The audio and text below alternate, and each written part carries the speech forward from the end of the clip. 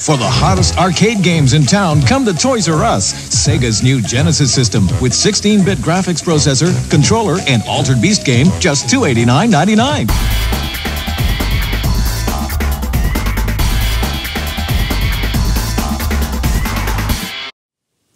Hello everyone, and welcome back to the Ultimate Sega Genesis review here on Player One Start. In the previous videos in this series, we took a look at some of the history, as well as the graphics and sound, and some of the hardware revisions and accessories. Today we're finally going to start diving into the gameplay, starting with the launch games. Let's go ahead and get started.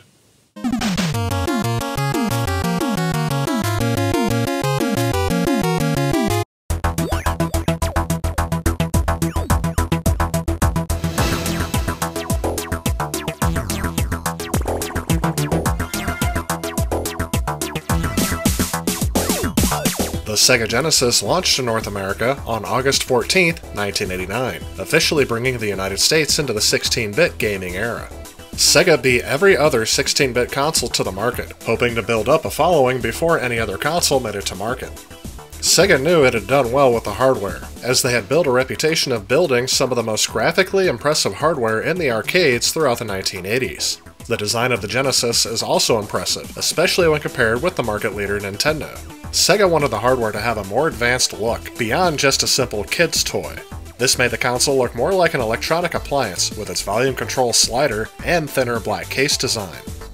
Side by side, it would appear that the Sega would be the clear choice for the next generation of gamers. The launch of the Genesis was not without its challenges. Thanks in part to Nintendo's stronghold on the North American video game market, Sega was forced to develop all of their launch titles themselves.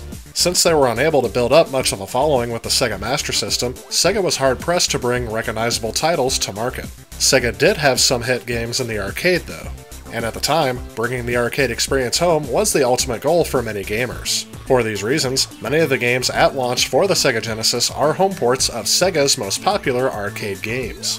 However, also noted in their launch titles was their strategy to include recognizable brand licenses on their games. All in all, the Sega Genesis would have six launch games, with a few more trickling out before the end of 1989. In terms of game genres represented at launch, there are two arcade action beat 'em up style games, three flight shooting games, and one sports game. And while this launch lineup may appear small in some respects, this was actually a pretty respectable number for a launch lineup in 1989. And as we start to play through the games, I thought it would be appropriate to start out with the games that was everyone's introduction to this system. Starting with the pack-in title, Altered Beast.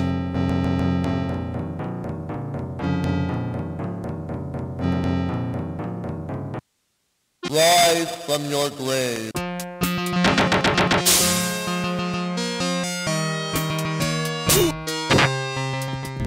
Altered Beast is a side-scrolling beat-em-up game with light platform elements. The player can kick, punch, and jump. Up to two players can play at once. Each player controls a Centurion, fighting undead creatures and monsters in a setting resembling ancient Greece. Upon defeating one of the enemies, a blue ox in this version, the enemy releases a spirit ball which allows the player to power up. Power up. After collecting three of these orbs, the player turns into a beast, each with their own unique ability. After reaching this power-up, the player can face the end-level boss. Welcome to your doom. However, the boss will also appear regardless of whether or not the character is transformed if the player takes too long to complete the level. Upon the boss's defeat, Neff appears and removes the transformation orbs, and then the next level begins.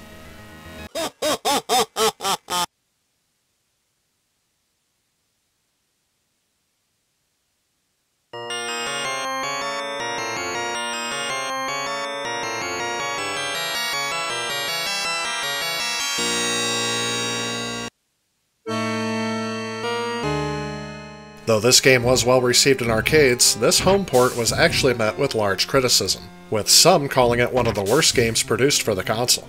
In my opinion, while this game provides a classic arcade beat 'em up style that was prevalent in the 1980s, I feel that this game does not really show what the potential for the Sega Genesis could be. And although some may find this game nostalgic for its inclusion with the original Sega Genesis, I find the sound effects of this game to be quite annoying, and often I find myself turning the volume down. I would recommend this game to people who are nostalgic for the Sega Genesis, especially in its early days. But for someone just starting out with the system, I would say this one is a hard pass.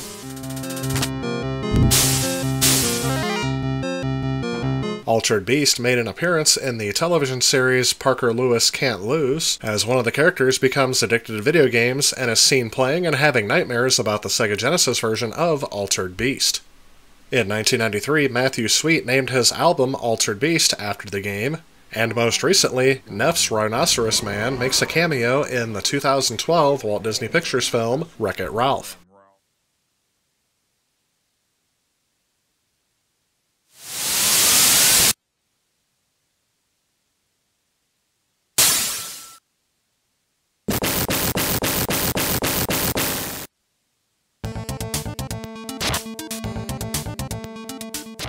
Moving on to Last Battle, this is a side-scrolling action game that is similar to its predecessor, Black Belt. The player must fight against enemies using punches and kicks. The player can attack while standing, jumping, and crouching for a total of six basic attacks. In addition to the life gauge, the player has a power-up meter that will gradually fill as he defeats enemies. When the meter reaches a certain point, depending on the stage, the player will transform into a super-powered state, allowing him to perform rapid punches and kicks for the rest of the stage. The game's levels, with the exception of the boss battles and maze stages, feature a time limit in the lower right corner of the screen. But unlike other time limits, instead of killing the character immediately when it reaches its end, it will gradually drain the player's life gauge until the player completes the level. This game is actually based on the manga series Fist of the North Star. However, since the international version does not retain the license, the graphics and character names were altered. At the time of its release, Last Battle was panned by critics and gamers alike for its vast difficulty. Again with critics noting that this game does not really showcase what the Sega Genesis is capable of. Again, I think this game is one that you can skip over. That's also because this game is very unforgiving. This game has become very legendary for its advanced difficulty, and this is a game I don't really get into or find really rewarding when I do beat a stage. Again, this game makes an appearance on several lists of the worst Sega Genesis games ever released.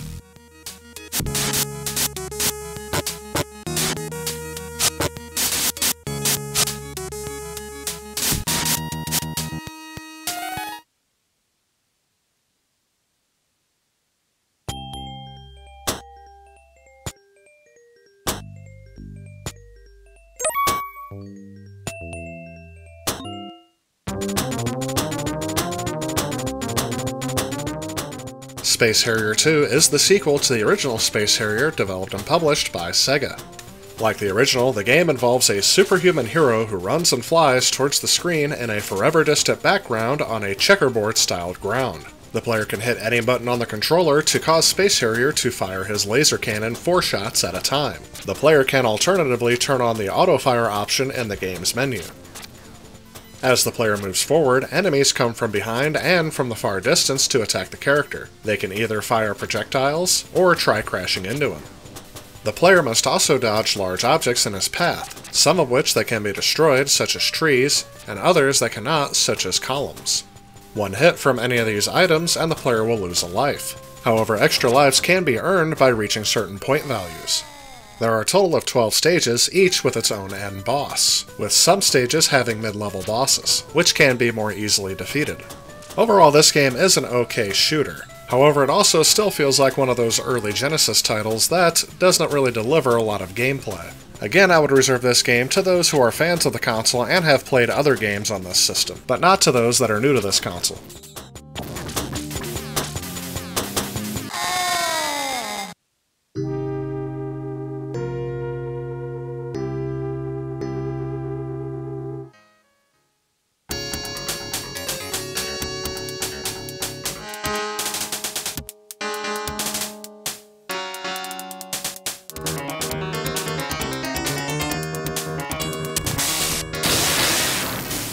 Super Thunderblade is the second of the original Japanese launch titles that also launched in the United States, with the first being Space Harrier 2. As in the first game, the player takes control of a helicopter, which is used to attack a group of guerrillas. The helicopter itself uses guns and missiles, and can also air brake. As in the arcade version, this game uses different points of view during the entire game. During normal play, and when fighting sub-bosses, the game utilizes a third-person perspective behind the helicopter. However, the camera angle changes to a top-down perspective when fighting bosses. While this game is of the more impressive titles launched for the Sega Genesis, I feel that this game is a little bit off from the arcade version. The game does control well, but the choppy frame rate makes it hard to avoid enemy obstacles and gunfire. While fans who grew up with the system will find this game fun and nostalgic, I feel that new players will see that this game has not really aged well since its introduction, and as such I couldn't recommend it to newcomers.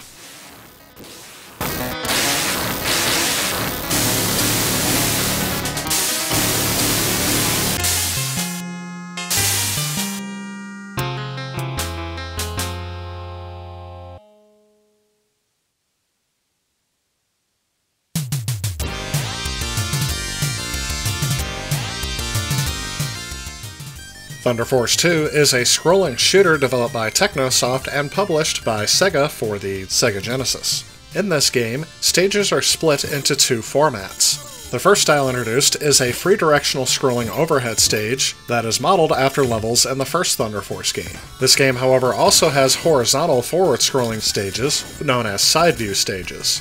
In the top view perspective, the player must locate the cores of a certain number of enemy bases and destroy them.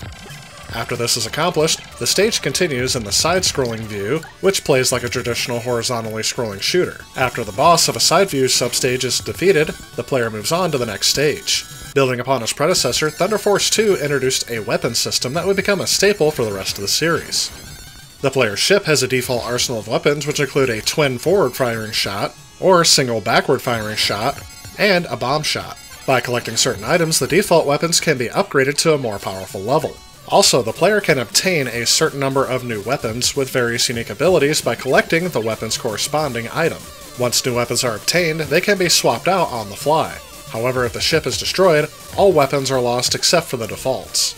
You can also obtain small pods which revolve around the ship, named Craws. The function of these Craws is to block weak incoming bullets and to provide extra firepower by firing single normal shots. The player may obtain up to two craws at a time, but will lose them when the ship is destroyed. This game was more positively received than the previous launch titles we have already covered. And to tell you the truth, this may be my favorite out of the new launch lineup, although I do prefer later entries in this series to this one. Overall, though, this is a game I can recommend to newcomers as well as veterans of the Sega Genesis, especially if you're a fan of the shooting games of the late 1980s.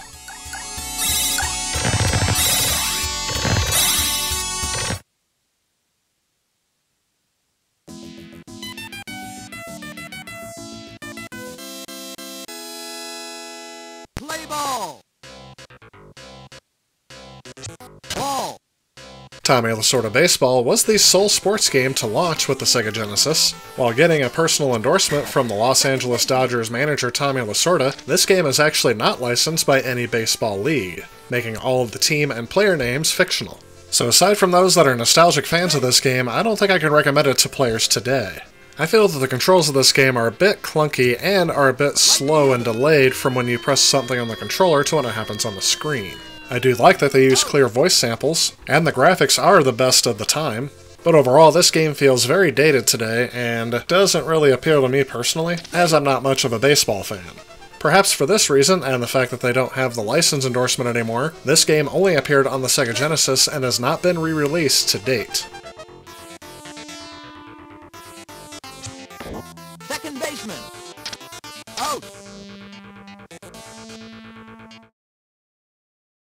After the initial six launch titles the following month, the only game to release for the Sega Genesis was World Championship Soccer. Being another arcade port, this game presents a top down, simple version of soccer. In terms of gameplay, there are no fouls, substitutions, or strategies. The player must dribble and pass the ball towards one end of the field and try to score by forcing the ball into the opposing team's net. I have to say the most annoying feature about this game is that you cannot choose which player you are, rather the computer automatically selects the player that is closest to the ball. This leads to some particularly frustrating moments that made me throw the controller down in anger and walk away from this game very quickly. When combined with the dizzying graphics of the field scrolling up and down very closely, I didn't particularly enjoy this game.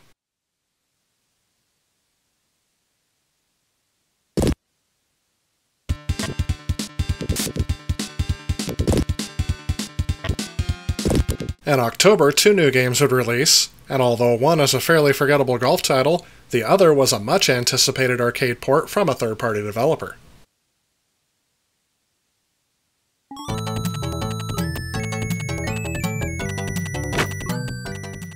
In Arnold Palmer Tournament Golf, although his name and likeness is on the title screen and the box art, the gameplay actually makes no reference to him whatsoever. The game itself features two gameplay modes Tournament and Practice.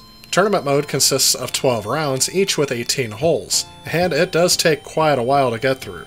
The rounds alternate between the three different golf courses available one in the United States, Japan, and one in Great Britain. However, the background scenery does not change between golf courses. As the player progresses through tournament mode, their skill level is increased, allowing them to hit the ball further and with greater control.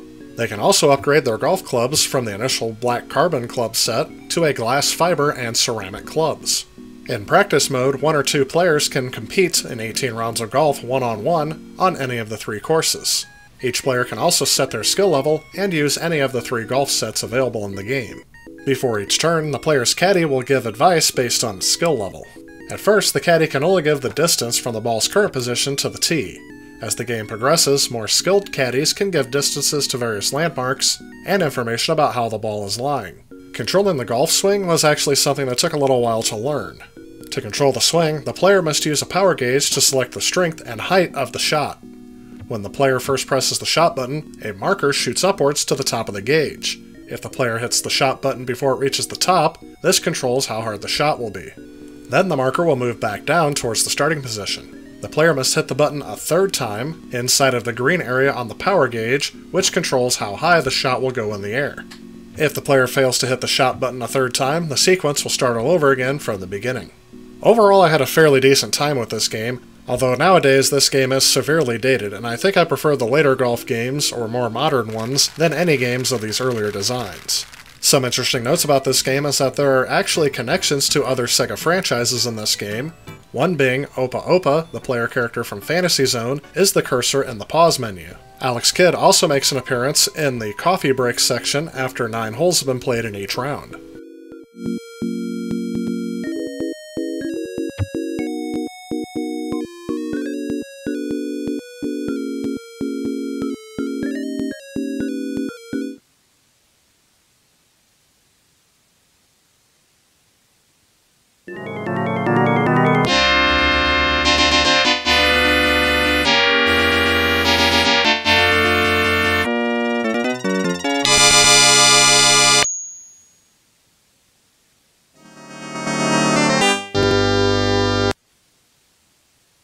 Port of Ghouls and Ghosts to the Sega Genesis was one of the most anticipated games of 1989, releasing close to the height of the popularity of that particular series. The game itself takes place three years after the events of the last game. Monsters and demons have returned, and a beam of light has struck through Princess Prinprin, taking her soul. Now it's up to the Knight Arthur to defeat the evil Lucifer and restore the souls of Prinprin and the people in her kingdom. The gameplay for Ghouls and Ghosts is very similar to that of Ghosts and Goblins. The player controls Arthur, who must advance through a series of eerie levels and defeat a number of undead and demonic creatures in a quest to restore all the people killed by Lucifer and bring his beloved princess back to life. Along the way, Arthur can pick up a variety of weapons and armor to help him in his quest. While the core gameplay remains the same as its predecessor, the game now allows Arthur to fire directly up and fire directly down while he's in midair. By jumping in certain spots, players can cause a treasure chest to erupt from the ground. By firing his weapon at the chest, players may uncover new weapons, gold armor, or an evil magician that changes Arthur into an elderly man or a helpless duck. This game offers classic old school platforming, but also classic old school hardcore difficulty. Again, as in the first game, one hit will shatter his armor, and the second hit will cost your life. Thankfully, though, in this home port, there are many checkpoints, and continues are unlimited. Nevertheless, it will still take hours before you can successfully complete this game. Overall, an experience I would definitely recommend on the Sega Genesis.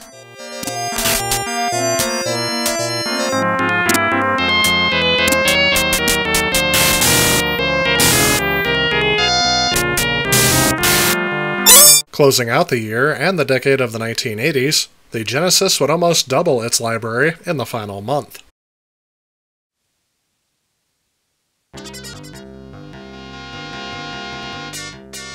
Forgotten Worlds is a side scrolling shoot 'em up game by Capcom, originally released as an arcade game in 1988. In this game, the player controls a flying soldier armed with a rifle with unlimited ammo. The player starts out initially by shooting off to the right. However, you can use the A and C buttons on the controller to rotate around the gun. The player can use the D-pad to move the character around the screen, and can choose to move the gun at the same time or just keep shooting in the same direction. This makes the game a little bit more faithful to the arcade version, however there are two stages missing from the home port. Overall, this game received positive review from critics and is still fun to play today, especially since most other scrolling shooters do not allow you to shoot in all directions.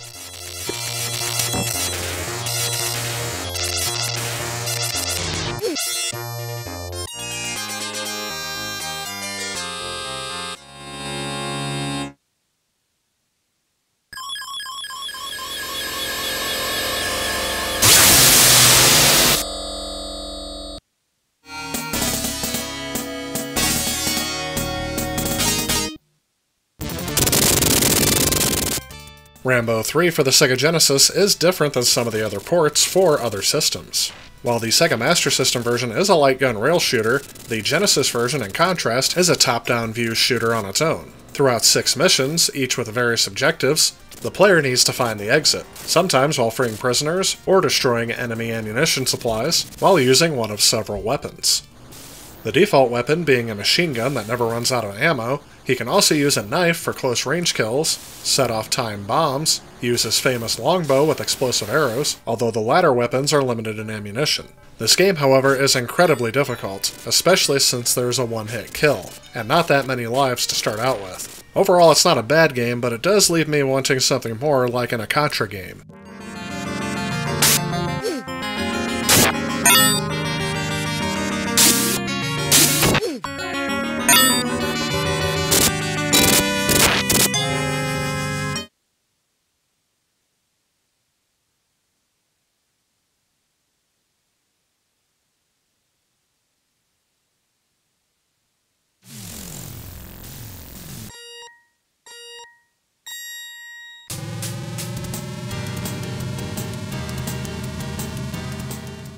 Super Hang-On is a motorcycle arcade racing game released by Sega, and the sequel to the acclaimed Hang-On. This game is a very faithful recreation of the arcade game in the home, and was very well received at the time of its release. Although I will note that the game is very challenging, and will take several tries to beat in arcade mode. That is mainly due to the fact that there is a very low margin of error in races, and sometimes it's even possible to run out of time in a race, even if you haven't slowed down or crashed. But that didn't stop me from trying to get through each course on this game, and I would definitely recommend this as one of the better racing games on the Sega Genesis. If I had one criticism of this game, it may be the fact that it is only single player.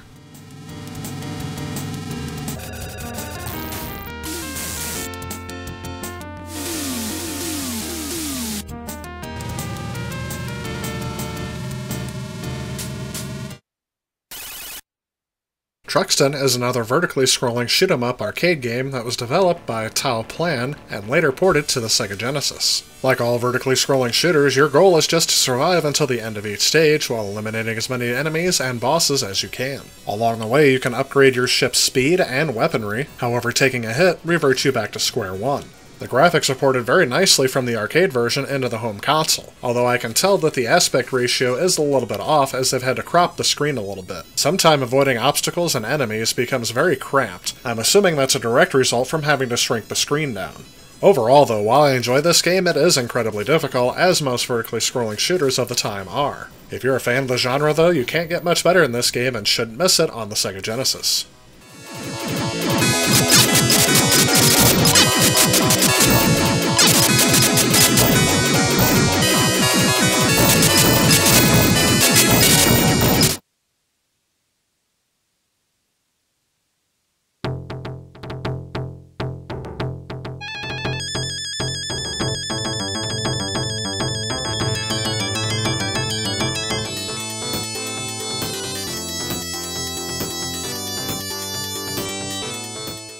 Golden Axe by Sega is one of the earlier hack and slash games that were released before the genre really started to take off. This game takes place in a setting that is more befitting of Conan the Barbarian. An evil entity known as Death Adder has kidnapped the king and his daughter. He also finds the magical golden axe, and threatens to destroy both the axe and the royal family if the people of the kingdom do not accept him as their ruler. The player must make their way through each stage fighting off Death Adder's henchmen. These include men armed with clubs and maces, skeleton warriors, and knights. The player is able to attack using their weapon, jump, and cast spells. Along the way, players can collect blue magic potions, which fill up their magic force bars. With the more force bars they have, the more powerful their magic attacks become. Throughout the game, the player can take control of various animals to ride them. Each of these animals have their own unique attacks and can be ridden until the player is knocked off a certain number of times. Golden Axe was received quite well at the time of its release, becoming one of the first hits on the Sega Genesis. And if you're a fan of the side-scrolling beat-em-up games of the time period, I say you should give this game a try.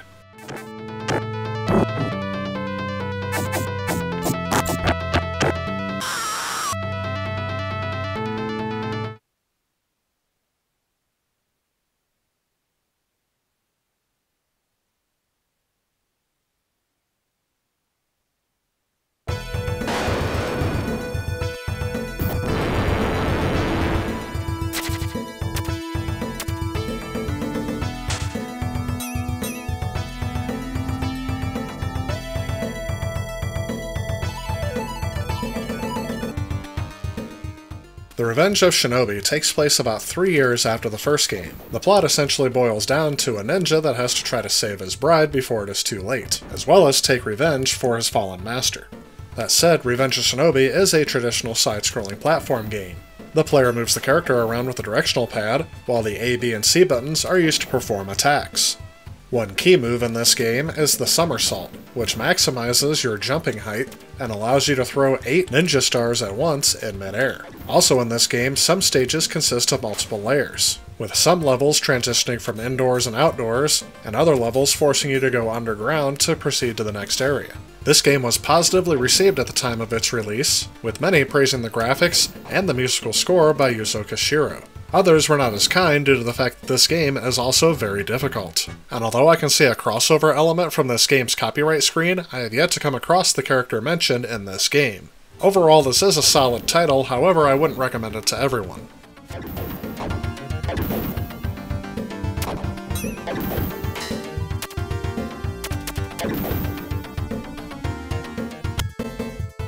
Well, there you have it. That is all of the early games that launched with the Sega Genesis. And while these games didn't have the long-lasting impact that Sega hoped, it did launch the console into its prosperous future. As the 1980s drew to a close, Sega would receive more third-party support, which would help drive more sales of the console. Partnerships with EA and developers that were previously restricted to only developing for Nintendo consoles helped to provide more quality titles that were lacking at the console's launch. As we continue making our way through the Sega Genesis library, though, we are going to transition from playing games as they were released to some of the best games from each genre. Alright, well that'll about wrap it up for this video. In the next video in this series, we're going to start taking a look at some of the best games on the console by genre. So stay tuned for that episode, and if you haven't seen some of the other parts in this series, look for the links in the description below, and don't forget, if you like what you see, please remember to hit that like and subscribe button, share with a friend, remember to reach to me on social media, let me know what you guys thought about today's episode in the comments below. As always, I want to thank you guys so much for watching, and stay tuned because I have more content coming. I'll see you guys next time. If you like this video and you'd like to help out with future projects on this channel, please consider supporting me on Patreon. Again, I want to thank you guys so much for watching. I'll see you next time.